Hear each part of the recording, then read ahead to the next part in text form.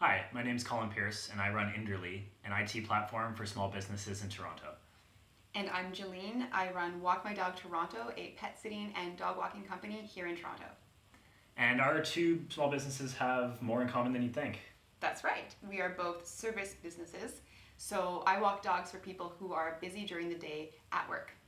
And I keep them busy during the day by making sure their computers at work work. And we both rely on technology. That's right. Inderly is a platform that comprises every technology a small business needs to succeed.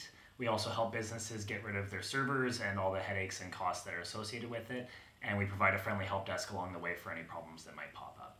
And at the dog walking company, we use a GPS tracker to track our walks, which means when you are when your dog has done its walk, you get an email report with cute pictures and a map. What advice would you have for somebody that's thinking about starting a small business today?